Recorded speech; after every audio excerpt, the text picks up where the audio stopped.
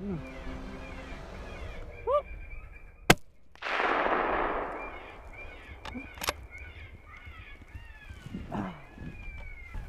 was a tough set, you guys.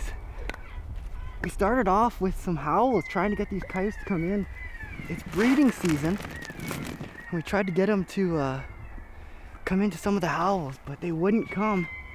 I hit them with some cottontail calls. Sure enough, we were actually almost thinking about getting out of here. And that one slithered right off the point here. And he come in and I stopped him. He must have been only, well, I bet you he's 50 yards away. And I asked Cory if he had him and he said no. And he then he knew the gig was up, so he started working his way out. Finally, he stopped for me. He's out there, bet you about 120 yards, and he's laying there dead. Yeah, really nice hide on him, actually. Nice little male. Right on.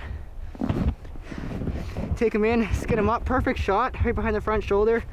Dropped him right in his tracks, didn't go anywhere. Third one we've got now in the last week and a half.